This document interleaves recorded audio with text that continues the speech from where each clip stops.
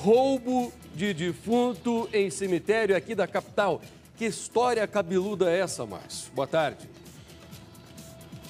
Muito boa tarde, Passaia. Boa tarde a todos que nos assistem. Exatamente, Passaia. Nós estamos no cemitério do Boqueirão e a história é muito maior do que a gente imagina. Maior do que simplesmente um roubo de cadáver, como já nós noticiamos aqui outras vezes, que seria o vilipêndio, né? Quando é, um cadáver é violado. Na verdade, a história aqui, ela envolve o crime organizado. A gente vê ali, ó, o caixão de um homem que foi é, sepultado ontem.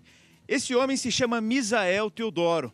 Ele morreu naquele tiroteio que aconteceu no Pilarzinho na noite de sábado. Ele foi vítima de um tiro de fuzil. É a informação que a Delegacia de Homicídios, ou melhor, a Divisão de Homicídios, deu ontem durante uma entrevista é que o Misael supostamente havia denunciado um assalto a banco, aquele banco que foi assaltado lá na cidade de Palmeira. Por conta disso, como eles chamam na criminalidade, ele foi considerado um X9 e aí ele foi assassinado, ele e um outro homem. Esse corpo estava sepultado aqui, ele foi arrastado, segundo a, a medição que foi feita pela polícia, por mais de 300 metros passaia. Ele foi puxado como se fosse esquartejado. Eu vou ficar de costas um pouquinho aqui para mostrar para vocês por onde ele foi arrastado. Ele foi retirado ali daquele corredor e foi levado por este corredor aqui até o final do cemitério. Lá no muro, parecido com esse aqui, o muro que faz fundos do cemitério, eles montaram uma espécie de andaime. Colocaram o andaime aqui e tentaram jogar o corpo por cima do muro e por cima também deste dessa espécie de arame farpado. Mas eles não conseguiram. Por algum motivo, isso tudo aconteceu hoje cedo. Por algum motivo o corpo foi deixado e ainda está lá. Agora a, a dúvida é a seguinte, né? O que fariam com esse corpo? Segundo a delegada Aline Manzato, da divisão de homicídios, provavelmente esse corpo seria usado como um troféu, exposto talvez nas redes sociais, ou fotos e outro tipo de situação que seriam é, é, denegrir a, mais ainda o corpo, esse cadáver, e mandar para os líderes de uma facção criminosa ou coisa que o valha, Passaia. Olha o que acontece em Curitiba, é à noite. E bandidos aproveitam toda essa escuridão para tentar roubar um corpo aqui do cemitério. O Márcio Barros agora tem mais detalhes. Na verdade, não são só ladrões, né, Márcio? São assassinos. É, a história ainda está sendo desvendada, Passaio. É verdade que o cemitério do Boqueirão ele é bem grande e casos de vilipêndio a gente já registrou aqui em outras ocasiões. Inclusive, no final do ano passado, uma mulher, uma senhora, que morreu é, é vítima de, causas naturais, né? ela estava sepultada numa dessas, dessas gavetas aqui e ela foi retirada para fora. Mas aí é um vilipêndio, é um, um, crime comum.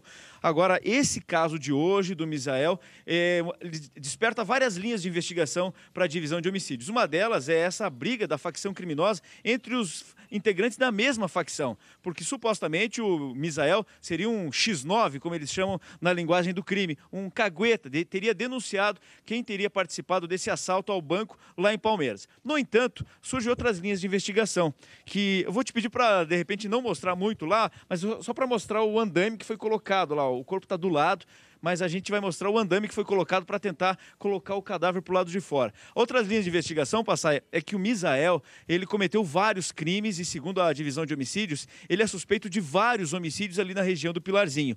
Então, quer dizer, tinha muitos inimigos que poderiam querer é, se vingar dele mesmo após a morte.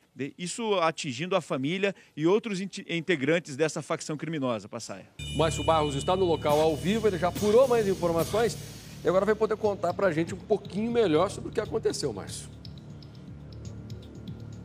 Exatamente, Passar. Tudo aconteceu aqui no cemitério do Boqueirão.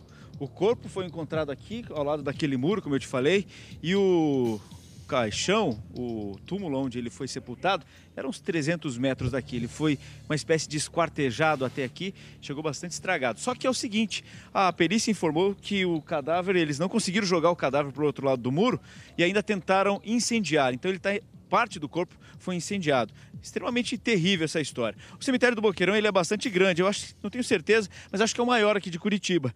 E aqui atrás do cemitério, Passai, tem um terreno baldio. Esse terreno aqui é da prefeitura. E segundo a Guarda Municipal e outros colegas que estavam conversando aqui com a gente, aqui serão feitas outras gavetas para colocar outros corpos aqui, uma extensão do cemitério. Aí a polícia veio até esse terreno baldio, exatamente onde estava o corpo, e aí descobriu aqui, ó, atrás desta árvore com algumas plantas ali, algumas folhagens, que aqui estava tudo pronto para eles receberem o cadáver que seria jogado do lado de lá por cima desse arame farpado. Aqui a polícia recolheu dois bonés e uma mochila.